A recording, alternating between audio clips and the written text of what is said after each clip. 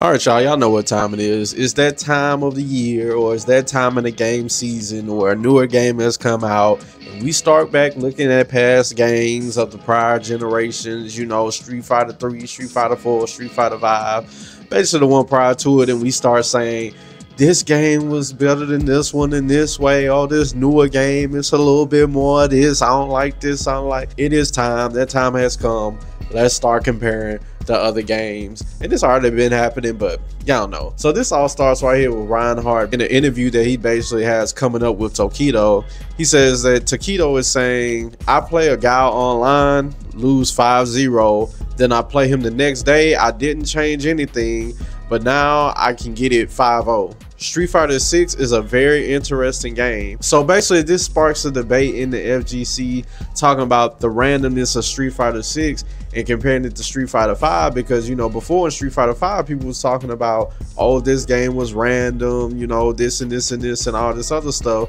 But now it seems like we're going to Street Fighter 6 and now people are saying the same thing. So right here MZ says Street Fighter 6 is the wild, random, inconsistent game that people pretended Street Fighter 5 was. It's funny seeing the community that whined about Street Fighter 5 be forced to defend a much more volatile game all because they don't want to admit that Street Fighter 5 was actually better at something than Street Fighter 6 was delicious. So basically, you know how that is. When you get to the newer game, you have some people that were so tired of the old game. When they get the new game, they want to defend it more than the older game, blase, blase. But some people are saying, like, man, this newer iteration is more derpier than the last, blase, blase. Y'all know how I go. And then right here, we see MZ continues. He said, Mena said the game is random. Daigo said the game is random. Now Tokido said the game is random. I'm starting to think the game might be a tad bit random. Then right here, we'll go to Big Bird, and he says that that for reference, a lot of top players used to say that about Street Fighter 5 as well.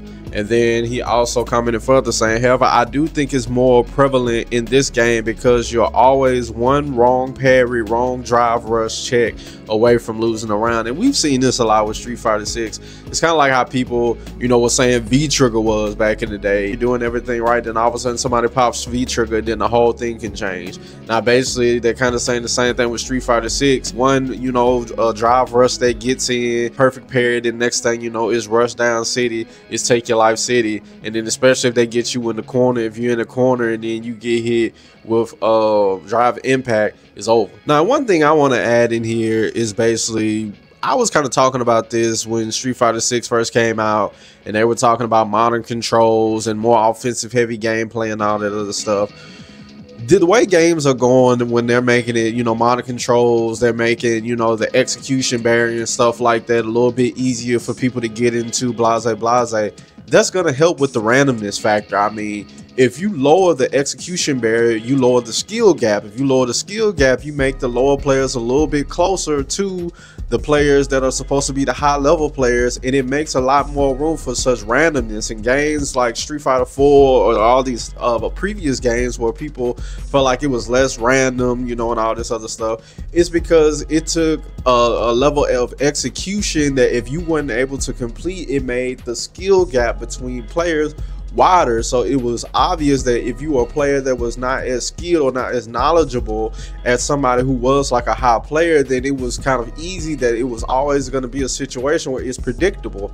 The top player is more than likely always going to be the smaller player because it's eh, there's just some things they can't do, the smaller player can't do, and that's kind of how fighting games were. It was something that you had to put time, effort, and consistency in to make sure that you can get to a place to where you were a player that could, you know, go to high levels and beat these top players and stuff like that. But then we get to this age where it's like more offensive heavy, you know, and then if it's more offensive heavy, you're making it easier to do the offense for the easier controls, and then you're making like, you know, certain mechanics in the game like drive rush and drive impact that's supposed to keep up the hype of the game and make the game more exciting. But stuff like that is going to lower the skill gap. And the next thing you know, you have situations where people are feeling like stuff like this is random. You know, it's the same same thing with like you know how people feel about combat mechanics. Hey, I could be doing right the whole time, do this, this, and that, and then next thing you know, somebody just has like this one special move that they can do, and then everything changes. I lose when basically I did everything correct, and my only sin is getting hit by like you know a combat mechanic. But now instead of having to rely on a combat mechanic, I mean,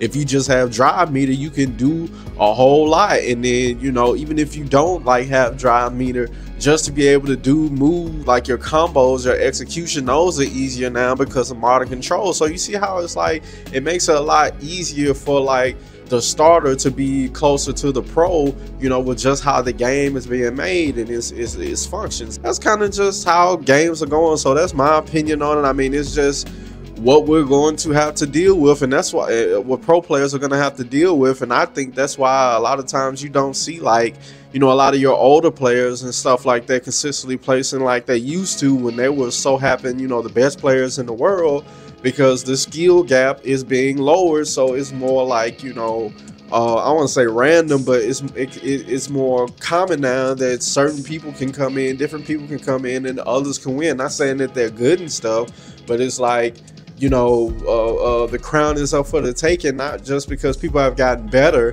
which yes they have, but more, uh, but also you have to add into it that people have made the games easier. So that's my thoughts on it. This your boy Rex on Max. Let me know what y'all think in the comments down below. Peace out.